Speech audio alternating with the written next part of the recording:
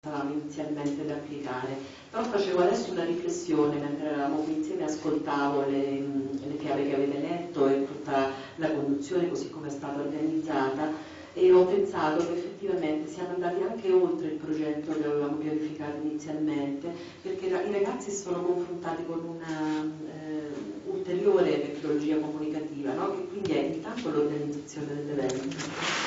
e mi compiaccio della bravura di come loro ho capito bene, sono stati loro, no? organizzare tutta la giornata, anche la sequenza delle fasi, eccetera. Non avevo dubbi su alcuni di loro, ho individuato alcuni soggetti che sapevo che potevano essere bravissimi, quindi complimenti anche alla professoressa che l'ha organizzati. E poi bellissimo anche il fatto che vi siete confrontati con Mauro Allegrini, che ce l'abbiamo in platea, però insomma è protagonista insieme a noi nell'organizzazione, anche con la fase espositiva, quindi hanno lavorato in questo momento anche con l'esposizione teatrale, che insomma è una eh, metodologia di comunicazione, un linguaggio di comunicazione importante, tanto quelli che hanno sviscerato attraverso il testo scritto e attraverso la comunicazione visiva. Ecco. Non me l'aspettavo di fare questa riflessione, davvero complimenti ai ragazzi, alle persone della scuola, eccetera è stato già detto praticamente un po' tutto quello che ha colto le varie fasi di sviluppo di questo progetto. Eh, mi preme eh, sottolineare un po' anche come la metodologia con la quale noi abbiamo fatto lavorare i ragazzi. Ci siamo trovati intanto a dover affrontare anche delle difficoltà logistiche, ma mi sembra che l'abbiamo risolta anche brillantemente perché considerate che abbiamo lavorato con 140 ragazzi nella eh, aula magna del, del, liceo, insomma, dove l'insonorizzazione non è proprio del, eccezionale. eccezionale, però la cosa l'abbiamo insomma, anche affrontata come una, come si dice, fare del difetto virtù, insomma, quindi eh, esatto, nonostante che non abbiamo potuto così tanto nella fase di illustrazione comunicare verbalmente e quindi eh, dare una base teorica sulla quale potevamo sviluppare il nostro lavoro, siamo passati direttamente al, all'operatività. E quindi i ragazzi si sono confrontati con la tecnica, ma eh, andando oltre la tecnica, perché insomma l'acquarello era stato scelto come metodo, eh, tecnica illustrativa, perché ci sembrava il modo più facile e in un contesto di così tanti soggetti, insomma quello unico da poter eh, potenzialmente utilizzare ma non ci sono stati limiti in quanto a questo, perché veramente in certi momenti, anche grazie alla bravura dei colleghi che mi hanno aiutato eh, in aula, i ragazzi hanno utilizzato le matite, hanno utilizzato la hanno utilizzato tutto quello che c'era a disposizione. Forse l'abbiamo inizialmente un po' sconvolti perché sono arrivati tutti quanti con gli iPhone, i telefonini, in, nell'aula c'era un computer che l'abbiamo lasciato lì bella vista rigorosamente spento, ma la prima cosa che abbiamo detto tutti quanti insieme era che avremmo fatto questa scelta congiunta,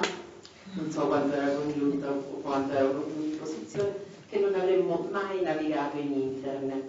questo perché oggi siamo tutti quanti fruttori di una grande quantità di comunicazione visiva, no? È proprio la caratteristica della nostra cultura. Viviamo eh, di parole, viviamo di musica, viviamo di tanti mezzi comunicativi, ma la comunicazione visiva è quella che probabilmente ci aggredisce continuamente di più, più di tutti gli altri metodi di comunicazione. E noi la viviamo come anche una ricchezza, perché no, però siamo solo fruttori. E invece abbiamo eh, chiesto ai ragazzi di diventare i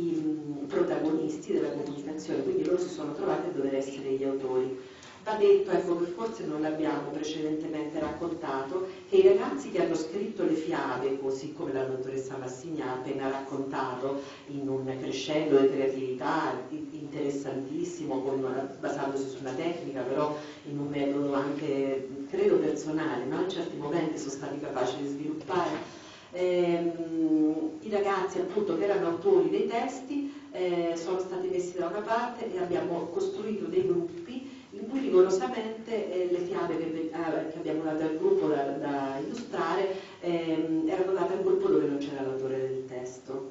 Questo perché non volevamo un condizionamento perché volevamo che, che, i ragazzi che illustravano, a volte gli stessi che avevano anche scritto il testo, eh, fossero liberi dal condizionamento del, dell'essere anche i protagonisti del testo scritto, quindi perché loro lo potessero riviolentare, eh, rianalizzare, rielaborare nuovamente con questa nuova forma eh, di comunicazione che è la comunicazione visiva.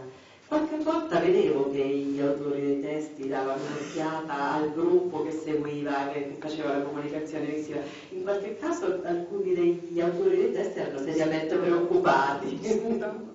sì, sì, erano seriamente preoccupati, si, si lamentavano, io a dire, ma quel personaggio è stato sviluppato in un modo diverso da come io l'avevo immaginato, quindi l'abbiamo messi anche di fronte alla capacità di capire che a volte ehm, anche la fantasia dell'autore poi può essere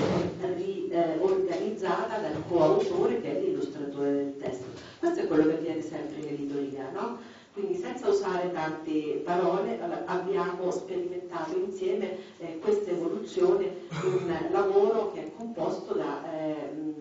metodi di comunicazione diversa. I ragazzi sono stati molto bravi anche in questo e devo dire che con i colleghi che, eh, con i quali abbiamo eh, condiviso questa esperienza siamo stati in qualche caso anche meravigliati del fatto che alcuni gruppi che erano partiti un po' più in sordina, con qualche difficoltà tecnica in più, anche con qualche difficoltà analitica in più, in realtà poi sono arrivati all'obiettivo per cui nessuna delle fiabe che avevamo scelto di illustrare poi è stata eh, meno delle altre, illustrata meno bene delle altre, per cui anche i gruppi che inizialmente avevano più difficoltà in realtà sono arrivati ad un obiettivo